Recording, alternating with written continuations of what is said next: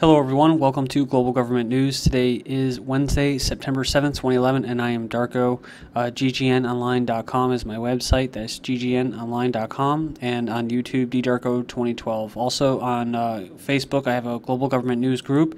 Um, the links with all these links, uh, with these headlines, will be posted in YouTube's video description. Okay, I have a lot to get to in this uh, second video, but I would like to just say on this it's just really sad because uh, you know most of those people that were included in there, I didn't, I wouldn't even consider them Tea Partiers. They're just basically corporate globalist pigs that belong to the one-party system.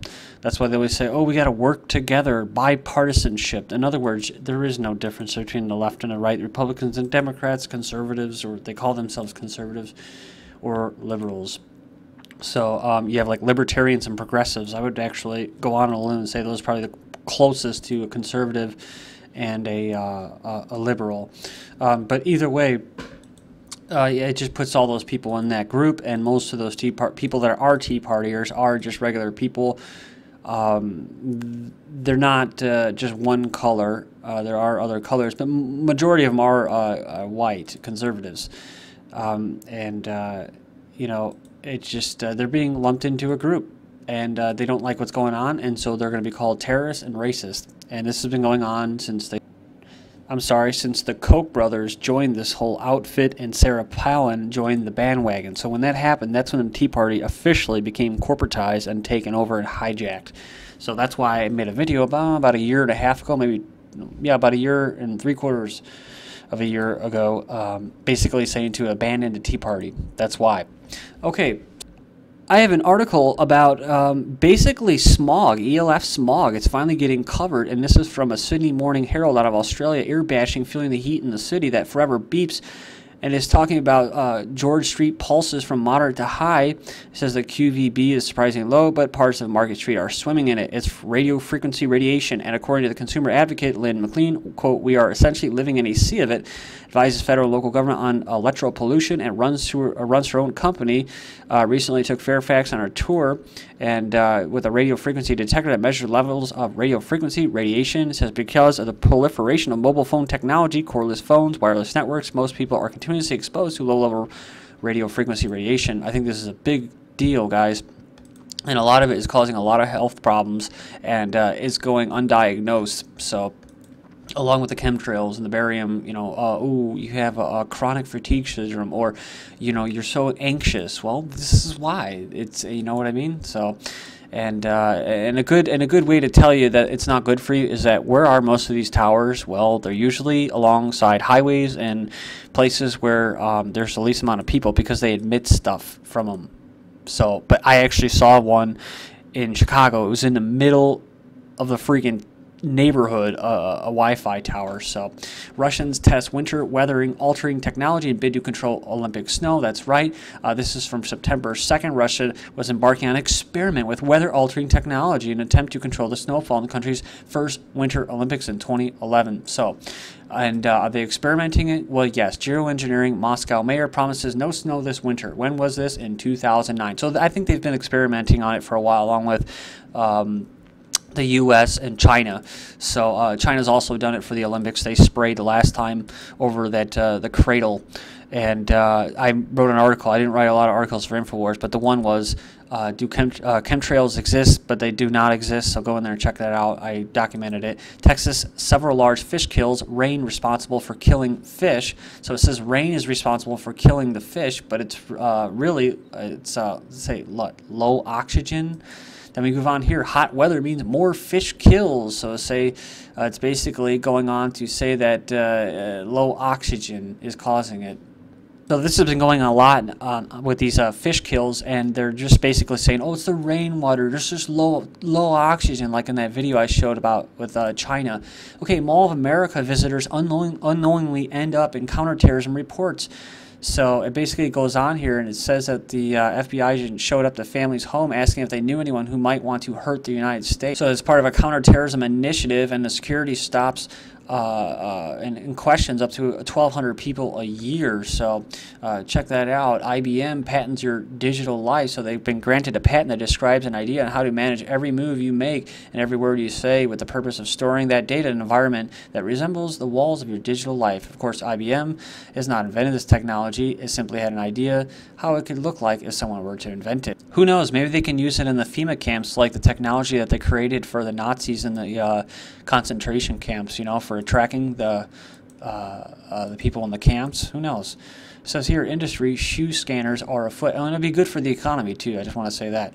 Uh, maybe you can even use the the FEMA camp people. Um, for uh, prison labor, for slave labor, and that would make even more sense. And that's an also a growing trend that's going on too.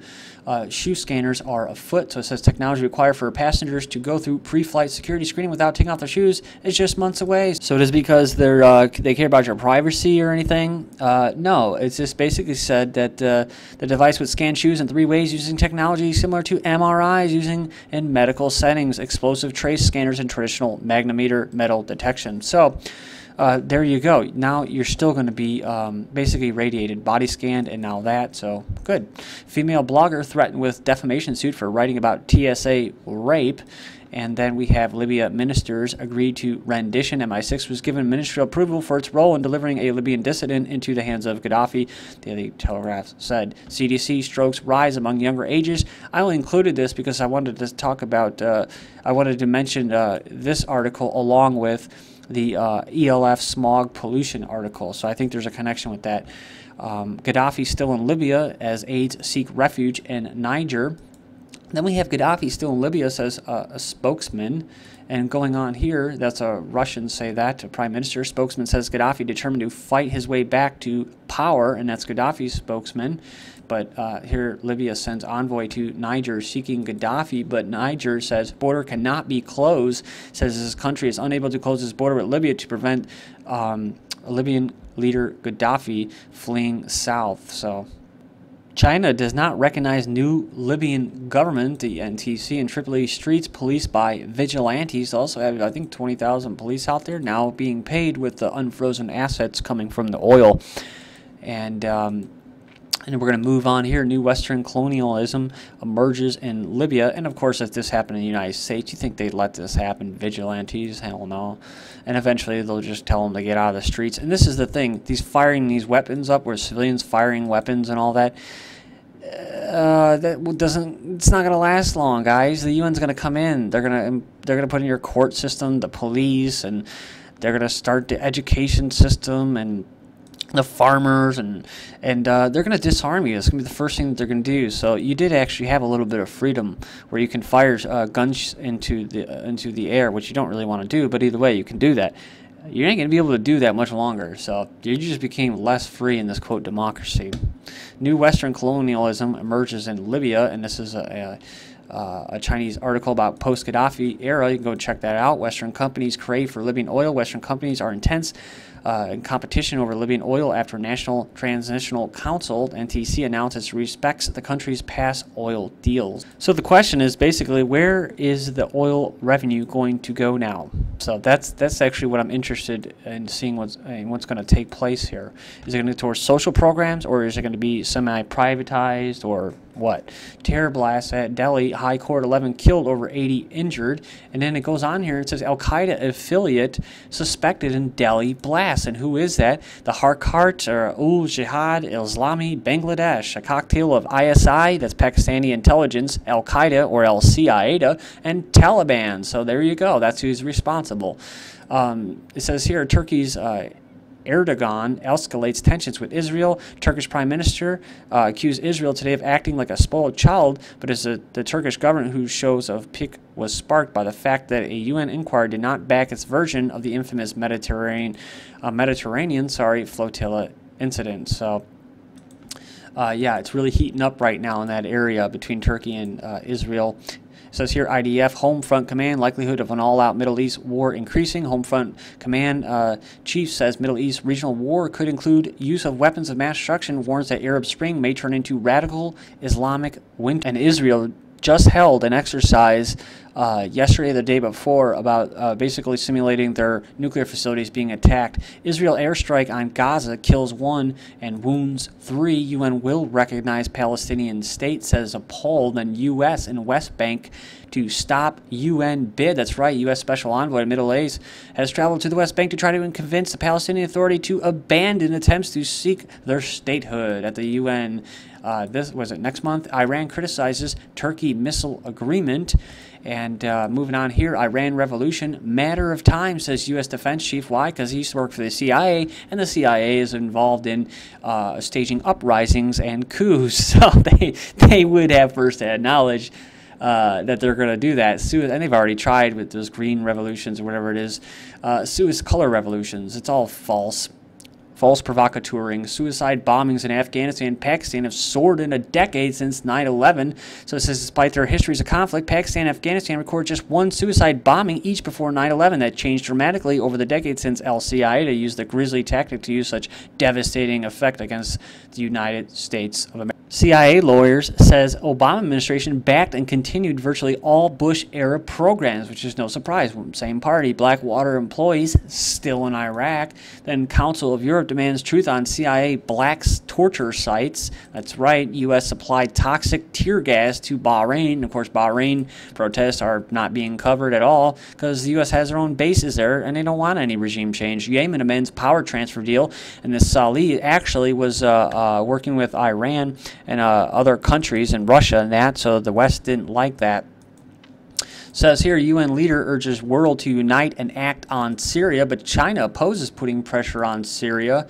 Uh, Somalia leader uh, signs a roadmap, and basically, uh, with the CIA drones striking and killing, and uh, the famine, this engineered famine going on in Somalia, now they're going to set up a, a, a, new government, I guess. The Pentagon says more cuts would hurt defense sector. Defense industry could face or would face devastating consequences if the Congress fails to find a solution to start funding them. So uh, you know, uh, all the blood and guts and death, that, you know, that has taken place in order for these companies to make money. God, I you know, I almost feel sorry for them. I think I'm going to start crying. White House vigilant on 9/11 anniversary. So step up security. Security spending after 9/11 tops 92 billion. So a good way to to get that going. Leon Panetta tours September 11th Memorial Parks as threats of another terrorist attack remain very real. Well, they know because they carry them out. Harper says Islamicism biggest threat to Canada, which a bunch of hooey, don't call it ground zero anymore, says Mayor Bloomberg. Look at this.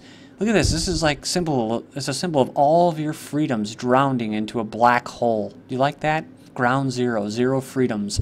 Jetstar offers passenger $100 compensation for flying with a dead man. They didn't even do anything. They didn't even land a plane. But look at this bomb threat forces emergency landing. Another emergency landing because of a bomb. Another emergency landing because of a bomb. But you can't land a damn plane because there's a dead person. You're going to leave the lady on there for nine hours? That's ridiculous. Then we have uh, a Haitian getting raped by UN troops. Former German leader calls for United States of Europe. SNP plans single police force that's in the UK, 10 days in jail for late library books. Then WikiLeaks founder should be sent to a mental asylum, says an Indian. Then man found butchering cow in the driveway. Oh, you bad slave. What's the matter with you? You're supposed to buy it when it's all uh, uh, altered. Thank you.